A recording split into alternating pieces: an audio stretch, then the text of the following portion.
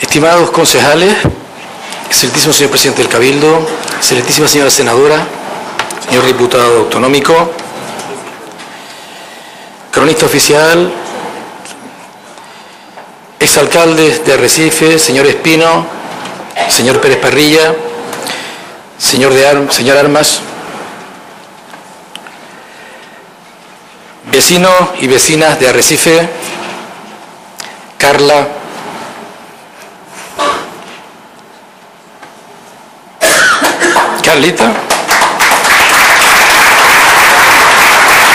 Pues sin duda es un orgullo para cualquiera de nosotros poder tener la oportunidad de ejercer una de las tareas más bonitas, más nobles y más dignas a la que se puede dedicar una persona.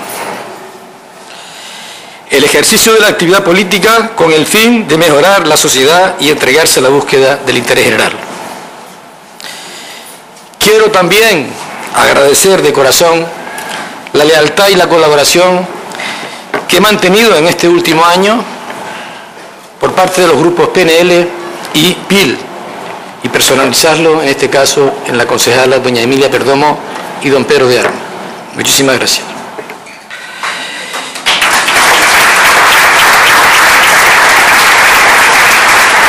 Quiero especialmente expresar mi más profundo y sincero agradecimiento por el masivo apoyo recibido por el pueblo de Arrecife en las pasadas elecciones del 22 de mayo.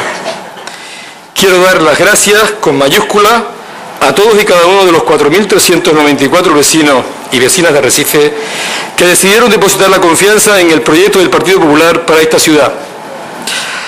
Administraré esta confianza con el mayor rigor, como alcalde es mi responsabilidad y mi voluntad gobernar para todos, para los casi 60.000 habitantes que viven en esta ciudad, quienes nos votaron, quienes no nos votaron, quienes abstuvieron y quienes votaron en blanco. Desde el mismo día 23 de mayo, un día después de las elecciones, Arrecife podía haber contado ya con un pacto de gobierno sólido y estable para los próximos cuatro años. Pero a pesar de los denodados esfuerzos e intentos por parte del Partido Popular de dar respuesta a la voluntad de los vecinos reflejada en las urnas, todos los ciudadanos saben que no ha habido altura. ¿Y quién ha sido el que ha antepuesto los intereses partidistas a los intereses generales de esta ciudad, desoyendo el clamor popular? Lamento que hayamos tenido que esperar hasta el día de hoy para que los ciudadanos de Recife pudieran tener la tranquilidad de contar con un gobierno sólido y estable para los próximos cuatro años. Y agradezco la responsabilidad y apoyo que he tenido del Grupo Socialista al haber adquirido este compromiso. Hemos suscrito un pacto de gobierno de estabilidad y de responsabilidad para Recife. Y como, y como principales líneas programáticas nos comprometemos a adoptar medidas que permitan una mayor eficacia en el gasto público y un mayor control del mismo. Impulsar la reactivación económica y la creación de empleo. Estableceremos protocolos que agilicen al máximo el tiempo de respuesta entre la Administración y el administrado. No puede suceder que la solicitud de una licencia tarde hasta siete meses en resolverse. A partir de ahora, por ejemplo, una licencia se concederá o denegará en un plazo máximo de 30 días. Promoveremos, promoveremos medidas que faciliten la inversión y la puesta en marcha de nuevas actividades. Profundizaremos en la colaboración público-privada como instrumento que permita la creación de empleo y la ejecución de nuevas infraestructuras y dotaciones públicas. Continuaremos con la apuesta por la administración electrónica como mecanismo para agilizar las gestiones de los ciudadanos y como elemento de transparencia. Los servicios sociales tendrán un papel primordial en estos cuatro años en donde combatiremos decididamente la exclusión social y la marginalidad. Los servicios públicos tendrán los correspondientes controles para garantizar altos niveles de calidad y eficacia. Estableceremos una relación de puestos de trabajo justa que garantice la optimización de los recursos públicos. Llevaremos a cabo el segundo plan de barrios que llegue donde no llegó el primero. Realizaremos también cuantas acciones sean necesarias para evitar la desafección que los ciudadanos manifiestan ante la política y los políticos. Los políticos no pueden ser un problema, tienen que ser una solución.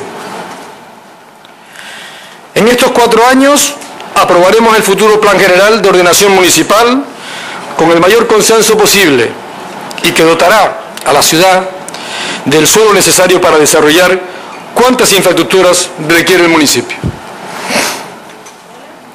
Yo creo en Arrecife.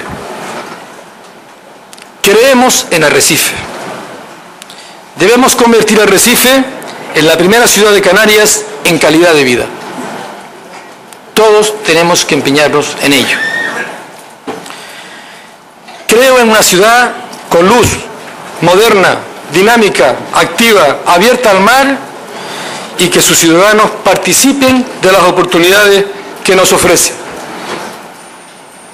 Arrecife, sin duda, será una gran zona comercial abierta que aproveche, sin duda, la actividad principal de esta isla. Quisiera por último dirigirme a mis compañeros de corporación, independientemente del lugar que nos haya tocado desempeñar.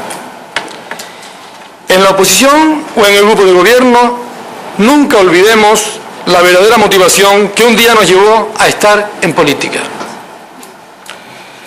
Esforcémonos por dar lo, mejores, lo mejor de nosotros mismos, cada uno con sus cualidades y sus debilidades. Estemos siempre atentos a corregir los errores y a ilusionarnos con los aciertos que supongan una mejora para todos.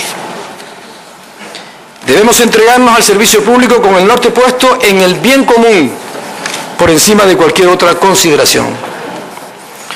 Los grupos de la oposición contarán con todos los recursos y medios necesarios para desarrollar una eficaz labor de oposición y tendrán acceso a toda la información sin necesidad, sin necesidad de la autorización de este alcalde para poder desarrollar con eficacia la labor de oposición.